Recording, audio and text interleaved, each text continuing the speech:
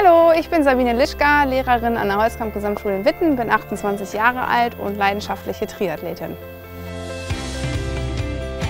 Ich habe mich auf die Langdistanz spezialisiert, heißt 3,8 Kilometer Schwimmen, 180 Kilometer Radfahren und im Anschluss dann noch einen Marathon laufen mit 42 Kilometern. Hallo!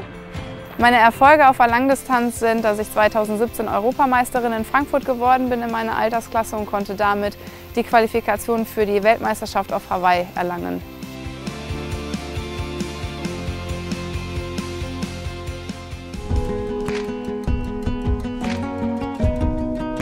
Da mein Studium in Bezug auf Lehramt war, habe ich dann äh, versucht, neben meinem Studium halt mir einen Nebenjob zu suchen, der schon in die Richtung Lehrer halt geht und habe dann ähm, beim Landessportbund angefangen und habe halt Sportkurse gegeben, unter anderem halt auch Nichtschwimmerkurse für kleine Kinder und auch äh, Kurse für Jugendliche gegeben und da habe ich halt einfach gemerkt, dass ich mein Hobby Sport einfach mit Kindern und Jugendlichen halt teilen kann und die halt anlernen kann, was Neues zu lernen und da habe ich dann halt gemerkt, dass es auch der richtige Weg ist mit Lehramt.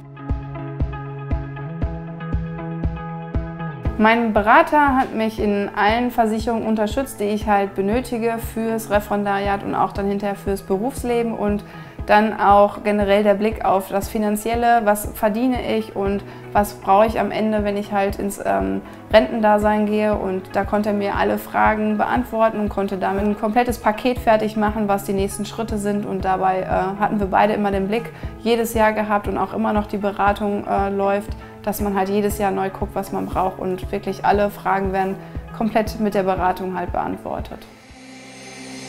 Grundsätzlich ist es so, dass die Lehrkräfte meistens die Frage haben, hey, was kommt denn im Referendariat auf mich zu? Ähm, ich habe schon so vieles gehört aus verschiedenen Quellen, ich habe das Internet auch schon befragt, aber was so wirklich auf mich zukommt, weiß ich nicht.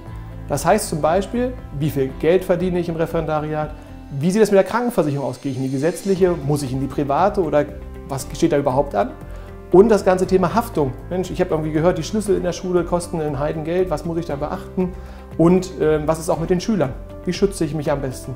Grundsätzlich ist es so, dass wir mit zweierlei Sachen unterstützen. Einerseits durch unsere 30-jährige Expertise, die wir im Bereich der Beamten aufgebaut haben.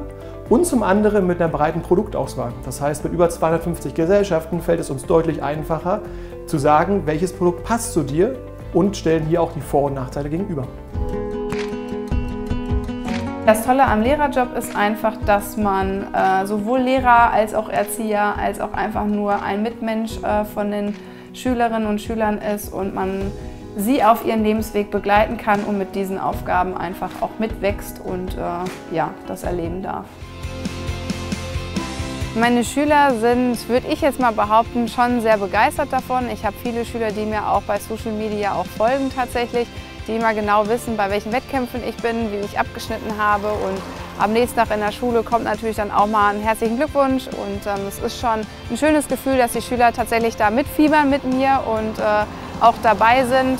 Oder halt auch die Eltern tatsächlich auch mit dabei sind. Also es ist schon ein schönes Gefühl, dass man halt äh, auch da eine Unterstützung tatsächlich von den kleinen Schülern bekommt, als auch von den großen Oberstufenschülern. Das ist äh, sehr angenehm.